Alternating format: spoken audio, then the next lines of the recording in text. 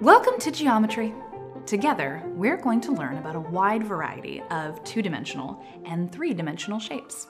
Some of the flat two-dimensional shapes will have straight edges, like triangles or pentagons, while some of them will be curved, like circles and ellipses. For all those two-dimensional shapes, we'll learn how to measure their angles, compute their areas, and find the distance around the shapes, their perimeters. Next, we'll move on to the third dimension and look at solid shapes, like spheres, cones, and boxes.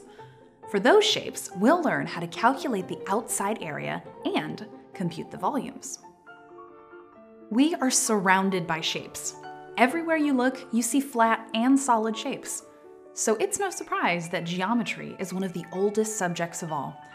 People have been studying it for over 2,000 years. In fact, a Greek man named Euclid wrote a book called The Elements, which was used to teach geometry for hundreds of years. For this reason, the geometry we will learn is often called Euclidean geometry. There are other types of geometries called non-Euclidean geometries. We won't talk about those. Instead, we'll focus on Euclidean geometry.